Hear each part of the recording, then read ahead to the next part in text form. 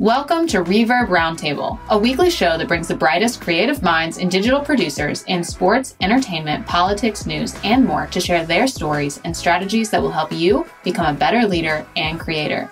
This podcast is hosted by Clark Campbell, the founder and CEO of Reverb Agency, an event media production company where the goal is always to make great events look great online. On this episode, we are joined by Zachary Swartz, the Director of Creative Media for Ohio State Football, and Tyson Hutchins, the Senior Director of Creative Solutions for Clemson Athletics and Football. Both Zachary's and Tyson's social strategy strongly leans into student athlete based content, bringing their audience an inside look at what it's like to be a student athlete at their university. This approach has been wildly successful for them, and we are going to dive into the ins and outs of how they do it and what they've learned along the way. Now, on to this week's episode. Here's your host, Clark Campbell. Yes, Tessa, I am so excited about this particular conversation because we have a little bias towards the Southeastern Conference because we do a ton of work with the Southeastern Conference and we have a ton of fun. And if if you know college sports at all, you probably know that there's always this competitive conversation and tension if you talk to someone in the other conference uh, or other conferences. And so I'm excited to have um, two thought leaders, um, experts, uh, people that are just paving the way uh, in in college sports and in sports in general when it comes to digital.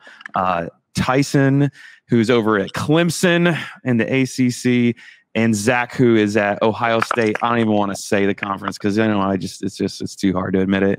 Um, John and John's co-hosting today, so good to have you with us too, John. John's going to lead a lot of these conversations because I don't know what I'm talking about half the time. Let's start with Tyson. Tyson at Clemson University. Tyson, what's up? Tell us a little bit about what you do day to day, in particular during uh, the biggest seasons of the year. Maybe we lean into college football. Tyson, what's up, man? How's it going? I'm excited to be here. I appreciate y'all uh, y'all having me on. Yeah, a little bit about me. So I'm the senior director of creative solutions here at Clemson. Um, so what that means in a larger scale, the primary the primary focus of what I do is managing and overseeing all the content that comes out of our Clemson football social media accounts and kind of managing the brand of Clemson football. And that's a significant part of, of what I do on kind of a day to day, obviously, with, with the, the scale and magnitude of, of our uh, team. It's a, it's a very significant part of my job. And then as well, um, I, I oversee a lot of the creative video for the athletic department as a whole um, and just being a resource for a lot of folks there, emerging technologies and kind of some of those things that that work across all of athletics. But but that's it in a nutshell. A lot of uh, a lot of digital strategy and creative video um, directed at football, and then being a resource to all of our Olympic sports as we can.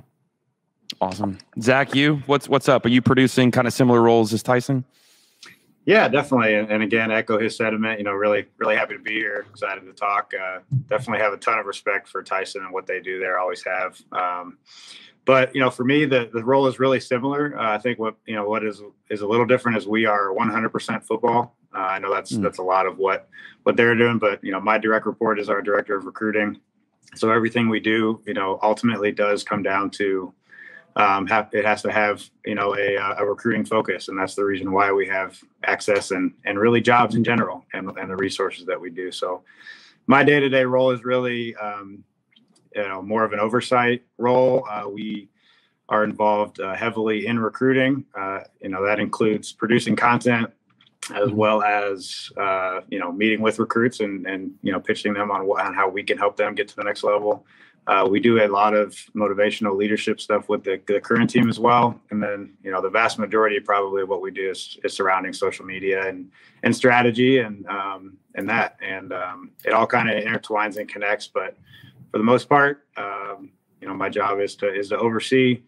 Um, but I'm also, you know, doing, doing some production still um, on that leadership, motivational, internal side, um, as well as, you know, helping out with social media for bigger projects. That's awesome. Um, well, guys, we're we're super psyched to have you here on the show, and just super. Uh, I am super excited just to to listen to what you guys have to say, and I know you bring a lot of knowledge to the table as far as this whole conversation around sports. Um, so obviously, you know, you guys are like leadership of a team, right? You know, you, you're you're directing creatives a lot of the time. Can you kind of talk, uh, maybe break down a little bit about that team that you work with? Um, you know, who who are you directing? Let's go with Zach first. Yeah. Yeah, so we're we're really lucky. I have um, our team has kind of grown over the years, uh, but right now, so right now we are a, uh, a four person team within football. Um, we are we are about to hire a fifth uh, fifth position uh, come this July. There's actually a position that existed um, earlier before the pandemic hit. Both of my assistant video directors left for uh, for other jobs, and so oh, no. during the pandemic, we were you know we, we were able to get one of those back, and then now we're you know finally getting back to full strength. So uh, we have we will have by the end of this year uh, five full time people on staff, including myself, uh, two assistant, and that's just for football. Just for just football. For, Yes, sir. Just for football. Very lucky to have that. Um, you know, two assistant video um, people that you know help with both social media and some of the internal stuff we do. And then we have two graphic design positions. Uh, one which really oversees strategy as well with me um, and all the external graphics and everything that you see out there. And then our second graphic designer handles all the uh, kind of the uh, recruiting materials that are sent out to all the recruits and then also really uh, kind of manages our photography as well. He's been really interested in that, and uh, we've put a big emphasis on that. So that's that's what our team is at the moment. Yeah, for for us, we're we're structured similarly, but also different in some ways, and so we're primarily focused on the external facing uh, brand of Clemson and Clemson football specifically, and so for our group, we have a we have a group of full time of four full time individuals. Um, my boss, the assistant athletic director or associate athletic director of creative solutions, um, Jonathan Gantt, myself, the senior director of creative solutions, and then we have two associate directors, one on the video side, one on the graphics side. Um, and like uh, Zach, we have some some current empty positions uh, that that we're hoping to to fill at some point uh, due to the pandemic and some things like that. And then mm-hmm. uh, we here at Clemson we we have a, a really strong uh, student workforce. Um, we are a certified internship provider for our a lot of the majors on campus.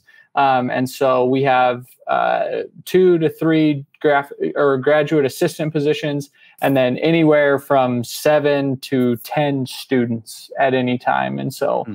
um, usually we take a, a, a, few of those students and dedicate them to football, and then the remainder of the students we spread aco- across the other uh, creative projects we have within athletics as a whole. So that's kind of the overview of our department.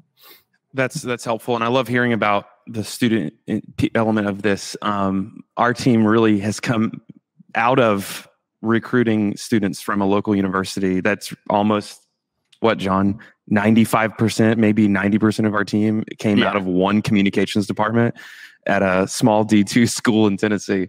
But um, that's that's awesome. Um, that that that you guys are leaning into that. Um, and and if you're listening and you want to apply for a job, you know, they there's some job openings, uh, unless they hire in the next couple of days before this this airs.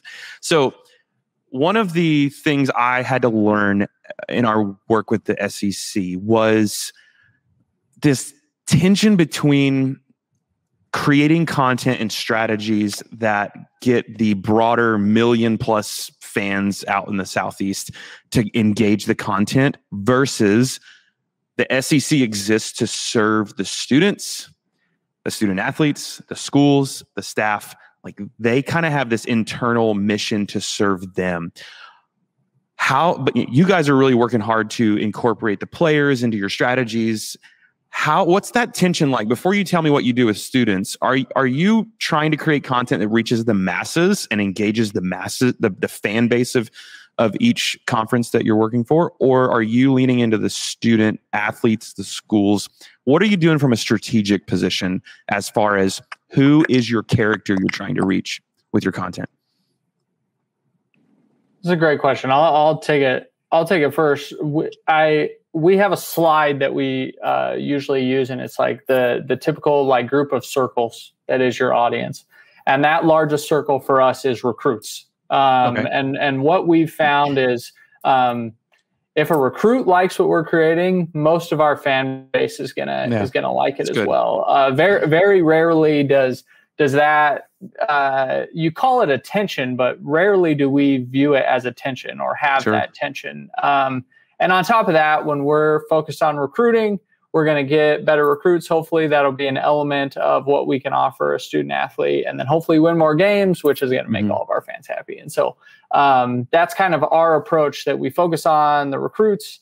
Um, and it seems that everything kind of falls in place after that with our fan base. That's not to say at times we no. don't create things to drive season ticket sales or things like sure, that. Sure. But just from an overall strategy standpoint, that's kind of how we tackle it and you bring it you you clarify it for me a little bit where you are you're not performing necessarily for an entire conference. Um, you're performing for clemson. You're trying to drive recruits to clemson whereas in the sec might be trying to drive recruits to all 12 schools.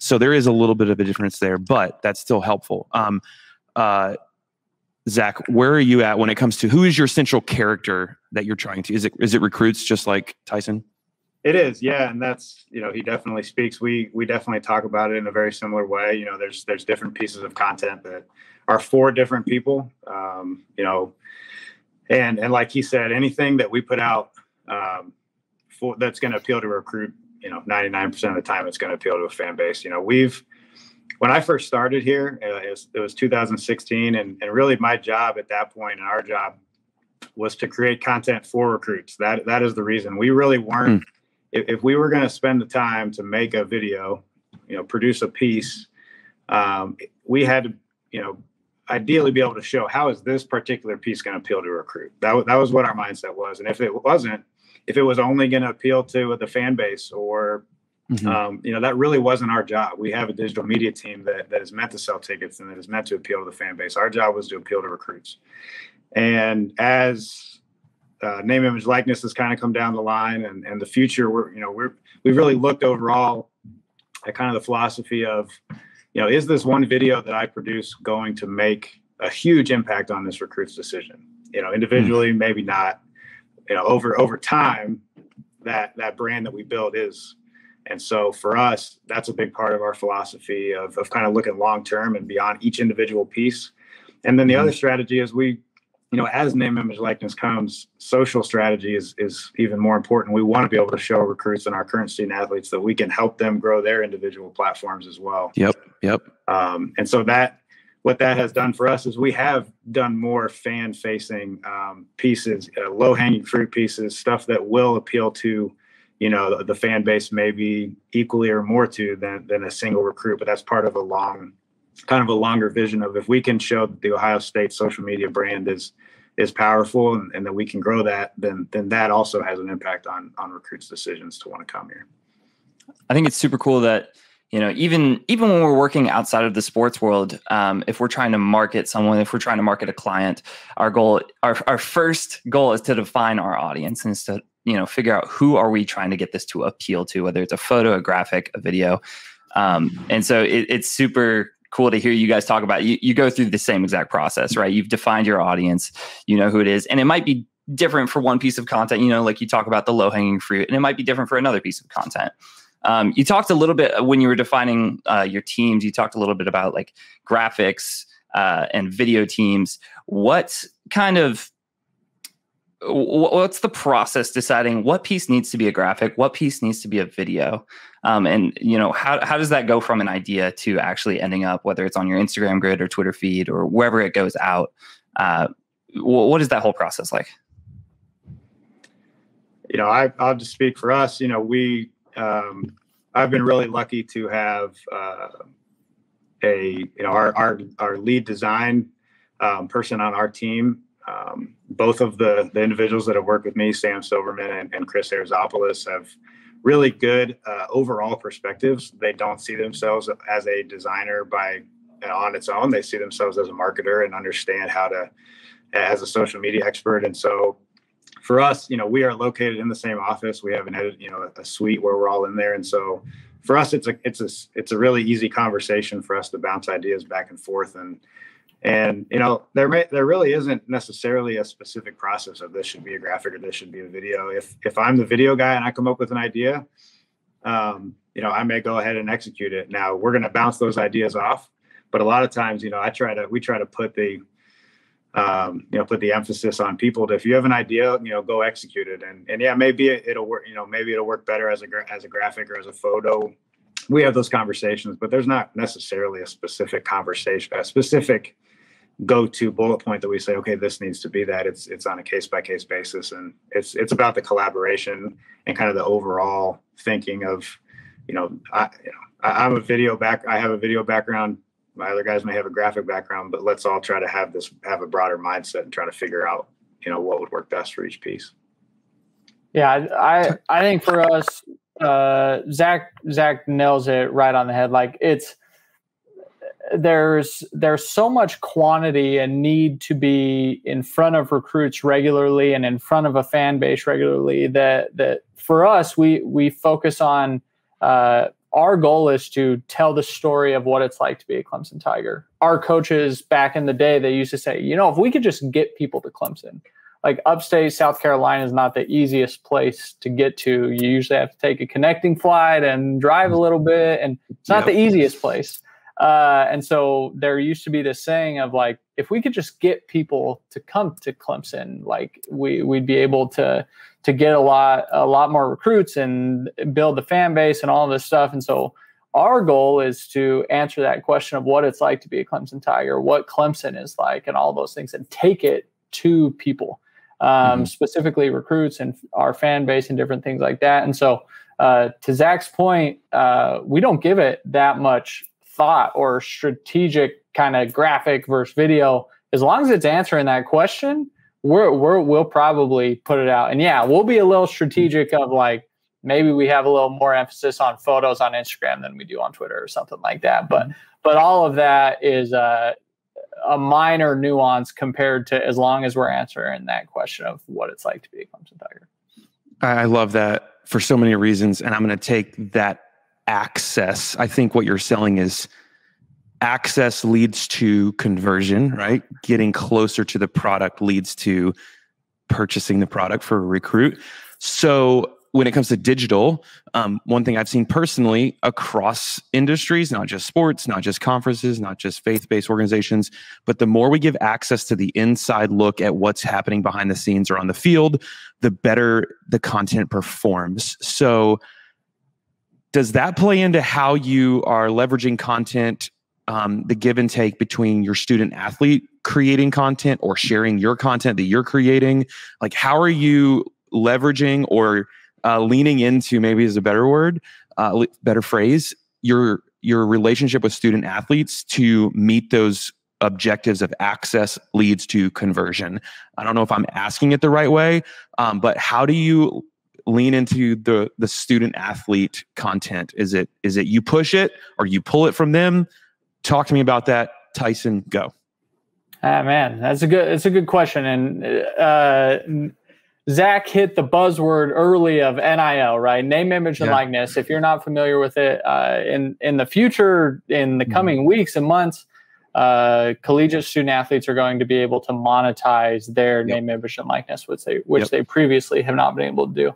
Obviously, that's a that's a major change for mm-hmm. for us and and our roles and I've talked to Zach and his staff offline. Like it, it, it's a it's a change. We're we're used to promoting Clemson football, or in Zach's case, mm-hmm. Ohio State football, as a brand, and that mm-hmm. that's one brand that that you that you need to push. And now all of a sudden we're going, okay, we're gonna we're gonna push a hundred plus brands or whoever wants to, and and so the the way and full disclosure, we haven't figured it all out yet, okay. but uh, we are trying to identify it as uh, our student athletes are an extension of Clemson. Um, mm-hmm. we had the one of the number one recruits in the country, DJ Uiagalelei. Uh, he is from California. California mm-hmm. is a long way from Clemson, South Carolina, and so mm-hmm. when we provide content and access to DJ, um, and he's able to promote the Clemson brand, he's hitting an audience that probably knows very little about about right. Clemson, and so mm-hmm. we see that as an advantage to us that that you know those those student athletes are an extension of the Clemson brand, and by doing that, they also have the ability to grow their own brand, which we care about a lot as well. Um, and and so it's uh that's kind of our initial mindset of how how we're looking at it and i'm sure it will evolve over time but but at the moment that's that's how we see it we see them as a extension of the brand of clemson football um, and how we can help them grow their brand by uh, a mutually beneficial relationship I want to throw in uh, like an asterisk to this question because I want you to answer it and then um, have Zach answer it. Like, when it comes to you creating content and then getting it to players to share or student athletes to share, how easy of a task is that? Have you had to build certain relationships or or, or even certain platforms like Google Drive links that you? How do you uh, engage the players on sharing content or using content that you've created? Yeah, you bet. Uh, what you just mentioned, that's a whole business in and of itself. Uh, yep. That's that's become a thriving, uh, hot topic among uh, our our yeah. field. Because to my point, uh, we're used to focusing on one brand, and all of a sudden we're mm-hmm. figuring out how we distribute content across. Uh, if you include the entire athletic department, 500 plus athletes, yeah. right? Yeah. And so uh, there are a number of companies who are in the business. At Clemson, we've chosen to partner with Opendorse.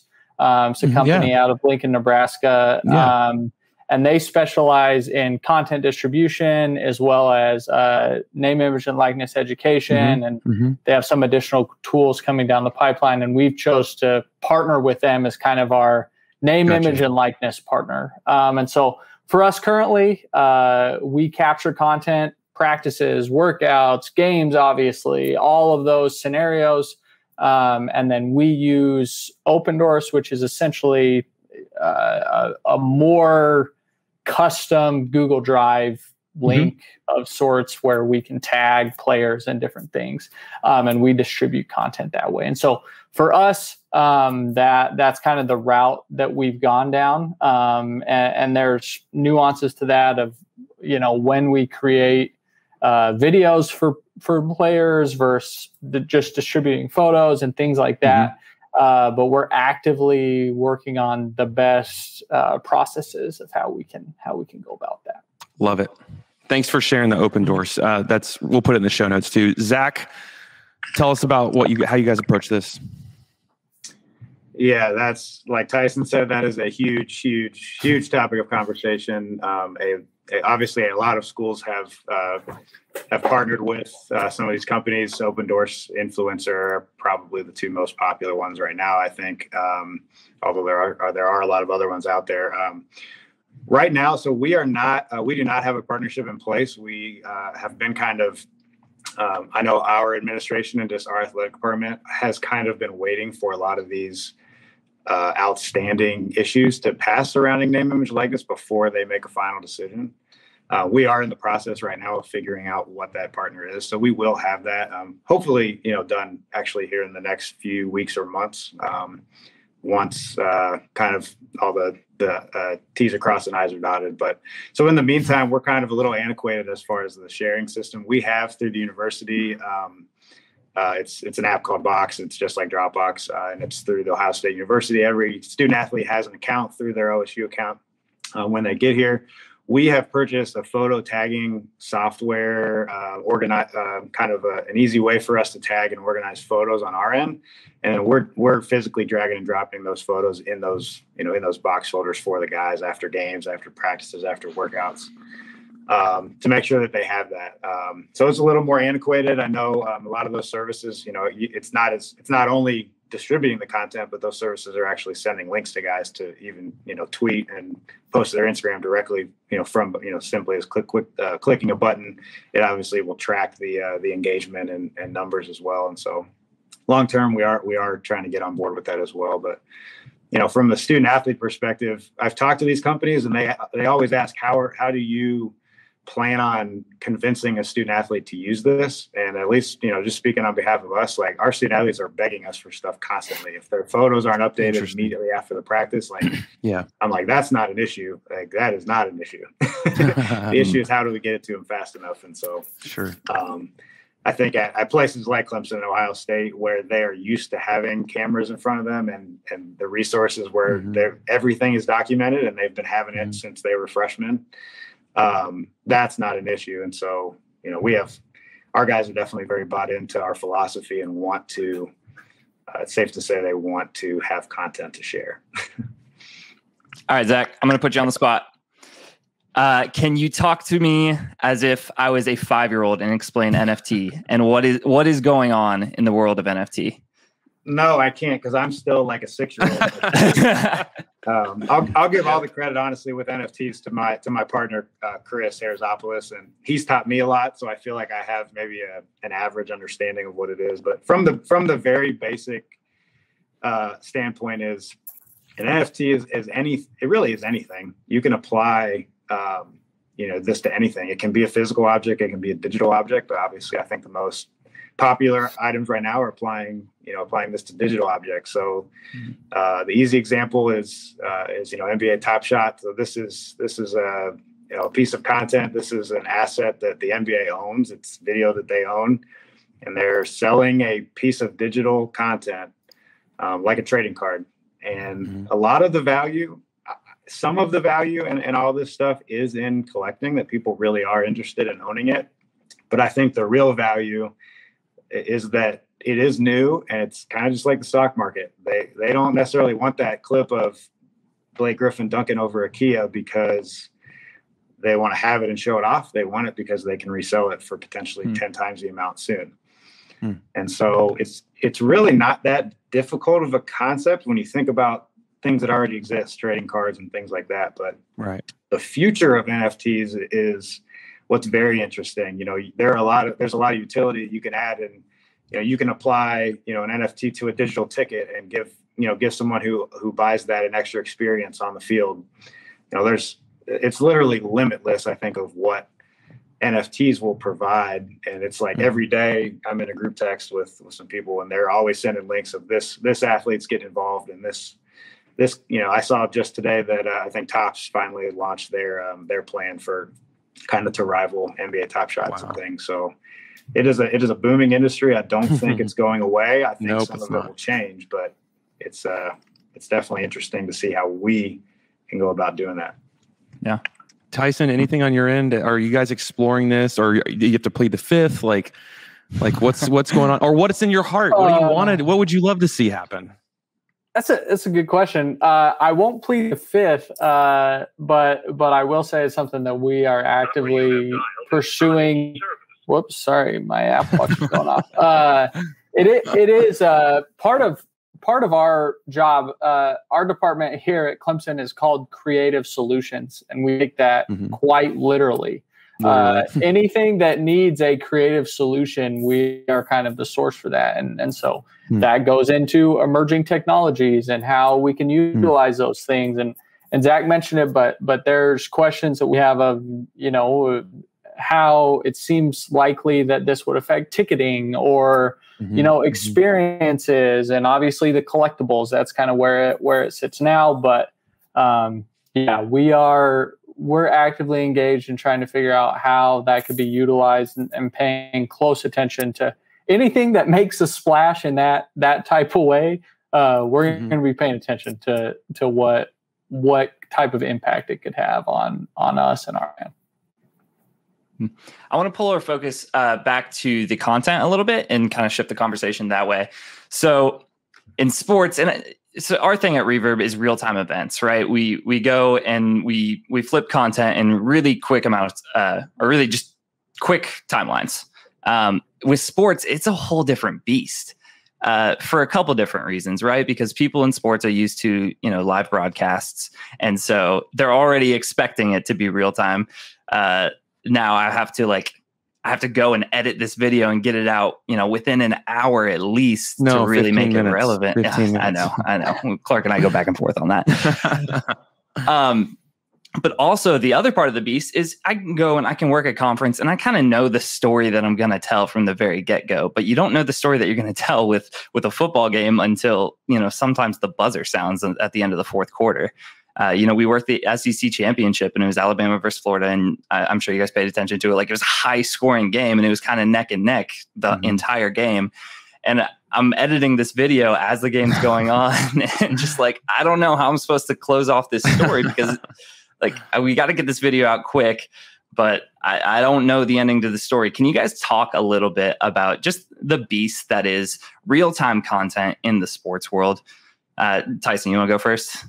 Sure. Yeah. Uh, I I would say uh, the same business that you're in. That's kind of where Clemson like left its mark to start. I mm. mean, we we are very much in the quick turn uh, business of live coverage mm. and offering a very unique view of of a sporting event. That's that's kind of my I I would venture to say my boss Jonathan Gantt uh, kind of pioneered like that mm-hmm. type of coverage and that type of quick turn content, especially in sports.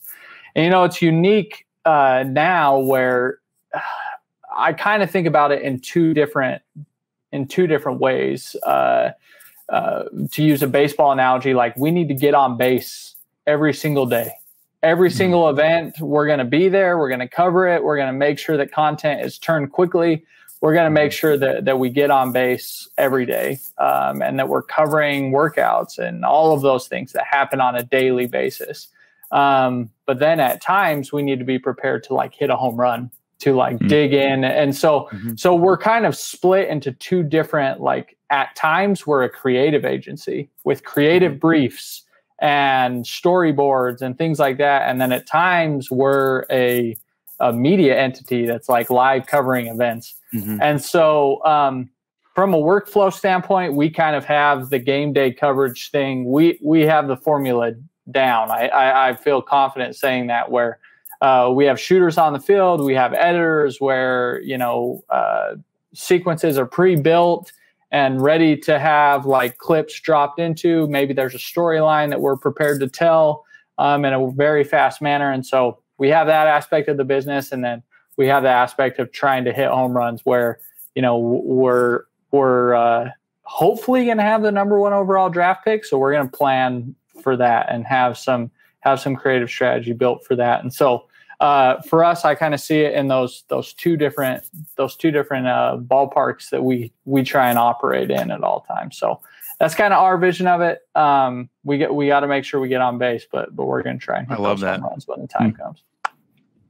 Zach. Yeah, for us, so so we and all the Big Ten schools are in a unique position compared to a lot of conferences, and the fact that in game we're not allowed to post any video um, at all on our yep. social channels. Yep. Ah, the joys. You want to get yes. into the rights conversation? yeah, we, we, can, we can, get into media rights. yeah. Uh, we tried to get away with it a long, you know, years ago, but eventually we kind of had to really figure out how to do it. And so, from a mm-hmm. live, a live, you know, game day the way we cover it, we invested heavily in photography. Um, we've always kind of done it, but this past year, we really, uh, luckily, we have uh, our designer uh, Corey Wonderly on our staff is very interested in photography, and so we invested some money in some equipment, um, and and made sure that we are. So our number one goal during our live coverage from kickoff to the end of the game is is is all photo based and graphic based, and so we have a strategy for how we uh, are sharing that um, ever evolving. And so for us, it's maybe a little easier. We are editing, you know, editing our photos and making sure that we're still putting out quality content. Um, and then pre-game before the window opens of, of, where the rights are owned, we're making sure that we are putting some live content out. We'll we'll do an arrival video, you know, for big games. That's that's a pre-produced piece, similar like Tyson said. We'll have the music down and where the cuts go, and, and put something out. Then uh, we have kind of moments leading up to a game. It was obviously different with no fans. You know, there weren't as much, there's not as much fanfare, but we, we will put out video pregame. We, we put a lot of our video emphasis on pregame. And then post event, um, you know, locker room access, that's where we're putting out more raw clips, maybe, you know, a, a single shot of a great play from the game. And we, we've mostly decided, uh, partially for our staff's mental health, since we're working crazy game day uh, or crazy hours during the week, we actually have said, you know, on a Saturday, um, you know, we're putting out a lot of photos throughout the game, a lot of graphics. We want to put out a lot leading up to the game. But then after the game, a lot of the fans are watching other football games. They're out there. So we actually want to put out raw content uh, and then let it breathe hmm. a little bit. You know, we'll put out graphics yeah. and photos and then um, kind of come back on Sunday and put out more content, and then put together kind of a nice edited piece with with the stuff that we shot later in the week to kind of bring people's eyeballs back to the game. And then, mm-hmm. um, so we're we are actually a little less um, on. We need to get this out right now because we sure. want eyeballs on our stuff, and so. Uh, it's a little bit of a mix of yeah mental health and giving our guys a break on saturday nights to get ready for the week uh, and able to put out still really good content throughout the week that still will get seen um, but a lot of our focus on live events is is through you know raw content, which um, I think I didn't love as a video producer early on. I wish that we can produce really good stuff all the time, but the way of the world and what our strategy is, a lot of times that's the stuff that obviously is going to perform better than than even an sure. edited piece. So. Yeah, not not to belabor the point, but come I know Zach and I both come from like a purist video creator background. and with Uh-oh. with that, but I'm about to with that said, uh it's wild to see how the platforms have changed and and audiences appetite for things and so to Zach's point, uh, there was a time in 2015, 2016, 2017 where we would put out 10 20 produced pieces from a game day, mm-hmm. like mm-hmm. DSLR, like really yep. awesome cut to music type things. And in 2020, 2021, like there's an appetite for some of that. But mm-hmm. with the way the platforms function and different things, like a lot of times they'll take the cell phone angle. Like they mm-hmm. want that. Like uh, I, I recently did like a state of the program type of report um, and looked, and three of our top 10 performing pieces from this past year was from my cell phone, from my camera wow. roll directly onto the platform. Like those were wow. our best performing pieces. And, and like top, top two performing things were that. And so um, we're really starting to try to just be a little more strategic to, to Zach's point. Like we can produce really high quality stuff, but do we need to? Is it the yeah. right time for it? Uh, a lot of the platforms don't reward timeliness in the way that they used to, um, yep. and so uh, we're we're thinking differently about about how about things, and and uh, you got to be there. People have their phones on them when they're mm-hmm. watching a game or when the game ends, but but we are thinking differently about uh, the life of content and how we mm-hmm. should be more strategic of when when it comes out and and when when fans and recruits can can expect it. Oh my so, gosh, Tyson! Uh, oh my I, am really I'm really getting down the rabbit hole.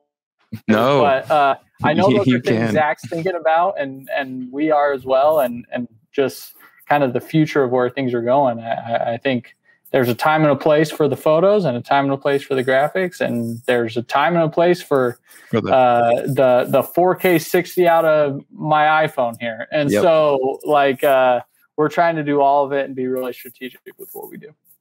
I'm i think really it, grateful that you brought that up tyson but go ahead john well, I think I think it's it's really important to everything that you just said is so good. It's the conversation of like form versus content, or you could say like technique versus story, right? I can edit and color grade this this gorgeous video, but if the story's not there, if if if people can't tell what's going on, or if it's just not interesting, like it doesn't matter how beautiful the shot is, like it, it's it's not going to connect with your audience.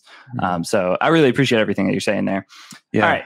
So yeah, Clark, go ahead okay, so because your time is valuable, um, and I'm very, I'm very, uh, oh, I don't know the word to use, not jealous of your time. I, I want to sit with you guys like for four hours to talk. like, I just feel like there's so much here that we could unpack. And maybe when we host our next real time summit, drop that in there. Uh, maybe we can have you guys in person uh, when we have that. We're going to get regather. So, kind of what we do almost came out of, of an event we hosted in 2018 called the Real Time Summit and uh, we maybe we'll go back to that. But I have three questions because I, I, I, we really value your time and we know you have a lot going on. They're fairly short questions, um, and I'm going to read them real quick, and then I'm going to go back and ask you to answer them. Number one is what's the single biggest hurdle or challenge you're facing when it comes to quality or speed? Is it lack of team? Is it lack of resources? Is it the different platforms? I don't know what it is. Biggest hurdle you're facing when it comes to quality and speed. Second question is what should creative teams stop doing in 2021 in sports? And the last question is what should creative teams start doing in 2021 when it comes to sports? So hopefully not long answers, just like maybe a sentence on uh, each one. So let's kind of jump back and forth. And I'm going to rapid fire here. Let's go with Zach. Biggest hurdle or challenge you're facing when it comes to quality and speed? Biggest hurdle with quality and speed is always going to be resources, both human and um, and equipment. No matter what you have, they're always going they're always going to want more. It's never going to be enough, and so it's keeping up with the appetite of of what people want, but also knowing what our what our resources are and what, what we're limited to, and and making sure that we're capitalizing doing the best we can with what we have, which is great compared to a lot of places. But yep. uh, it's continuing with that knowledge that it will never be enough and, and understanding that as well. We get it. Tyson, biggest challenge you're facing right now? Uh, biggest challenge is what Zach said. Uh, we don't mm-hmm. have enough resources, but since he already said that, we'll never have enough resources. What, whatever we have, we always will need more. But since he already said that, uh, I'll say um, technology. Uh, mm-hmm. I think there there's a lot of room for emerging technology of how we capture content, how it's ingested, how yep. it's tagged, how all of those things. Uh, there are massive opportunities for emerging technology to transform a lot of what we do. Um, and so I'll, I'll tack on uh, technology yep. to, to Zach's answer. It's fantastic. And make sure you go watch Tyson's YouTube channel. He's got some really practical tips. Uh, I even learned something. I, I um, should. Um, well, if you're going to, I got to go and upload more. If you're uh, I think you had one from March. yeah, I think uh, I did. I got to, I got to I, I like that stuff, but I got to be better about it if we're going to plug it on the pod here. it, was it was good. You keep doing more of it. Okay, right back at you, Tyson. What should creative teams in the sports world? What should they stop doing? You look at Twitter and you're like, oh gosh, another one of those videos. Um, what what should people stop doing? Um. Don't throw anybody under the bus is, per se, but this isn't Twitter, uh, but this is Instagram. Um, okay, you you gotta the aesthetic like no one cares like like we like folks like us on this yeah. we're the only ones no yep, no one else right. cares they you're do right. not care about the aesthetic of the the feed and the the, yep. the way your instagram if you want to have a little campaign for like a few posts or whatever yeah. So, yeah, great but the overall aesthetic man like focus on the actual content, on being strategic with it, and don't don't worry about the aesthetic. No one no one's gonna know that like that wasn't perfect Clemson mm-hmm. orange. Mm-hmm. Like I wanted some friends that I have some friends that are gonna hate you. I, oh, they are not gonna like you. I and I'm be honest, I I I was a purist. I I mm-hmm. was mm. that guy. But if we're gonna live in this social world, you gotta recognize reality. So that is what it is. So true. Yeah. Zach. Uh, one thousand couldn't agree with that more thousand percent. Uh, I tell everybody aesthetic of Instagram overrated. Yep. Um, for me, uh, and this kind of is directed, I think, towards just more people in our industry is stop making content um, to impress other content creators. Um, mm. Focus on your audience. Make good pieces of content for that your audience will enjoy. good, and that's your job. Um, it's good. Usually, that will impress other content creators, but that's not your job. I know. I know everybody wants to get the next job, uh, but if you're focusing on what the audience is, that's going to make you have a bigger picture of what you're actually doing. And to me, that is a much. If I'm going to hire somebody down the line, I mm-hmm. want somebody that is going to put all their effort into what the audience is, what the content should be for the audience, not because they want to. Such a good creative ego, man. It's a big thing. Retweet. Yep. Good, good stuff. Mm. Absolutely. All right. Uh, let's stick with Zach since we're there. Last question uh, before I wrap this a little bit. Um, what should creative teams start doing in sports um, this this year? Um, we've kind of already talked about it, but I, will just say focus on efficiency um, mm. and strategy. Know what your resources are. Don't try to be somebody else. Understand what your resources are. Understand that Clemson and Ohio State are going to have more resources than a lot of other places. your videos, your pieces of content don't need to look like anybody else's. Um, figure out the most efficient and productive way um, to do your work with what, what you have. Uh, and if you're applying it to what your audience is, they're going to love it. Um, stop trying to, it's kind of similar. Stop trying to, you know, compare, uh, focus on what your realm is. Um, and then also look outside of sports for inspiration. I'll just leave it with that. You know, don't copy what other people in sports are doing. That's Find good. something outside of sports to help make you stand out. That's great, Tyson. Uh, I couldn't. I couldn't pick just one, so I got two things. Uh, one, uh, man, uh, I'm going to make a lot of enemies on this, but there's always this conversation of quality over mm-hmm. quantity, mm-hmm. and that is uh, if we're if we're talking about social media, that is a terrible strategy. It's a mm-hmm. really bad strategy. The goal should be scalable quality. That's what mm-hmm. I always say is like if you're not regularly in people's feeds, then you're not being seen. You're not growing your brand. And so you can drop the sickest hype video once a month yep. and like you'll be in people's feeds for a couple days. But like if you're not regularly in people's feeds with qual I'm not saying you post bad content, yeah. but if we're in this social media world, we want scalable quality. That's what that's what I always say where we can consistently post really good stuff and then we're going to try to go back to my analogy. We're going to try and hit the home run. We're going to make sure that mm-hmm. we do that. But but we got to be regularly in people's feeds to build the brand that, mm-hmm. that we're trying to. Mm-hmm. Um, and so number two, uh, that is a huge aspect of it. And now I can't remember number two. I got way too animated about about that one. But but we'll if you we'll stick with that.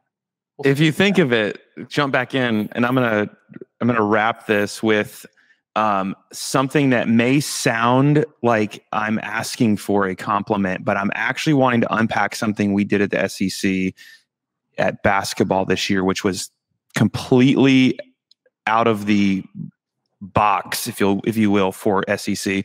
And I want to tell you why we did it, and just get your real quick sense on, hey, good idea, risky idea, can't do too much of it, that kind of thing. Um, so Zach, I have no idea if you saw it. Tyson, I, I think you did with Sammy we asked Sammy right before we got to the SEC is, hey, we don't want a sideline reporter for the content. We want a guide. We want someone to take the fans real quickly, even if it's five or 10 seconds into a piece of content that doesn't feel like sideline sideline reporter. We wanted, and here's the reason, there's a strategic reason why I pushed for it. When you look at the SEC, you've got 12 teams, 12 different groups, fans. Every piece of content you put out is irrelevant to 11 other teams. Uh, 11 other fan bases. And so, what could we do in the first couple of seconds of each piece of content when we're having to create all these game recaps that might keep 10 or 11 of those other fan bases or other student athlete groups engaged a little longer into that content? And so, I said, Sammy, can we stick you or someone at the front just to kind of lean into the moment? Maybe people will watch a few more seconds that will and then they'll stick around because they didn't just see alabama playing uh, tennessee and oh it's irrelevant. I'm out. I'm gone. I don't want to watch this. That's why we did it. Do you think it works sticking that guide into the beginning of content especially when you're having to do a lot of content at a tournament um, or is it like hey be careful with it don't use it too much i'm kind of leaving it open-ended but i want you to throw darts at the strategy and tell us where we should go moving forward or how we should kind of talk to Sammy about it. Zach, I'll let you go first. What, what were your thoughts? So, so your question is is kind of having a physical person on on camera guiding you through the, the guiding process. you into the content. Yeah, uh, it's, it's like a, a host or a guide with some of your content. Do you do it? Does it work? Um, I think I think it does. I think it can, uh, but it can't look like news. Um, I think yeah, that's exactly. Um, you know, and I think you guys definitely address that with your strategy. And honestly, I think it has to go. It, it really depends on the personality of the person. Um, I think yeah. there is a place for it. The most important thing we do is we want we want people to live in the moment and feel like they're in the moment. And so, I, I think the most important thing is having the um, the student athletes tell talk fluidly and not feel like we're putting words in their mouths. And so mm-hmm. I think to me that's the most important thing. But I, but I don't see a problem with if you have a good host with a good personality that makes it feel not like news. I think there's definitely a place for yeah. that. Cool. I'll say this: we use Sammy because LeBron James and John Legend were a little busy doing something else for Ohio State. So that is true. We uh, I need some I need some big name big name fans like Zach's got to work with. We we could really use we could really Hilarious. use that here in Clemson. But uh, uh, no, it's a great question. Uh, we at Clemson lean into that a lot. So we we kind of have a, a, cornerstone piece of content. It's called the vlog. Mm-hmm. Clemson football, the vlog. Um, and a big premise behind that is to like have characters, just mm-hmm. like mm-hmm. on a TV show. Like yeah. we have characters and we we allow them to to tell their stories. And so for us, it's very it's a very similar strategy that we have and and that that we find. And and I told you, I think I, I tweeted about it. You know, super engaging. Like and a dynamic way to do it. To to Zach's point, like I think y'all had a Ronin and you were like mm-hmm. circling mm-hmm. Sammy, and like yeah. it was a da- yeah. a dynamic way to have a host, like yeah. a traditional host. And I think that that's that's what what's important is like if it's dynamic and engaging, then then I I think that that is the the critical part of it. The reason why we go like vlog, like put mm-hmm. the camera in their hands and let them vlog is because mm-hmm. of that. Like we want it to yep. be an engaging, personal thing.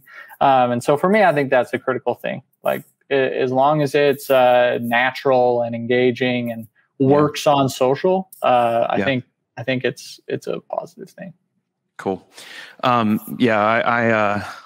I, resonate with that, and that's what we kept saying was what's going to keep people's attention because we're losing so many people because they don't care about the other eleven teams. We're losing so many people. What can we do to create better attention and engagement. Okay, uh, I appreciate that. Um, I promise I wasn't fishing for compliments. I really wanted to know does it work or not. Um, thank you both for your time. You do incredible work. You can find links to both Zach and Tyson in our show notes. Um, Tessa's about to tell you all about those. You can check them out. Make sure you not only follow them on social, on YouTube, wherever they are on the internet, but go follow what they're doing in college sports. It is absolutely some of the best work on the planet. And I'm kind of partial to college sports because I think it's a little more creative. Uh, sometimes pro gets a little too corporate, in my opinion, but you guys are doing an incredible job. So, Zach, Tyson, thank you so much. Thank you both. Thank you guys. Thanks, guys. Thank you so much for joining us this week on Reverb Roundtable. Don't forget to grab the show notes for the episode. They are full of great info, links to all the content we talked about, and some pretty great gifts just to spice them up. Just go to rvrb.cc forward slash podcast. We'll see you next week on Reverb Roundtable.